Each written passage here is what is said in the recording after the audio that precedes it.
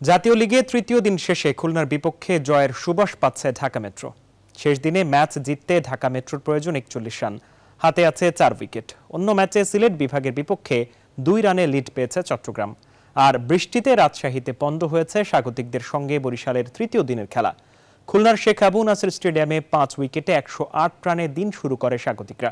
শেষ পর্যন্ত তাদের ইনিংস থামে একশো একানব্বই রানে। ব্যাট হাতে আবারও ব্যর্থ হয়েছেন খুলনার অধিনায়ক ইমরুল কায়েস। জয়ের জন্য ঢাকা মেট্রোর লক্ষ্য দাঁড়ায় একশো সাতষট্টি।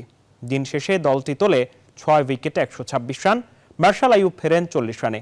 জাহিদুজ্জামান অপরাজিত রয়েছেন চব্বিশ রানে, টিপু সুলতান সতেরো রান খরচায় নেন দুই উইকেট।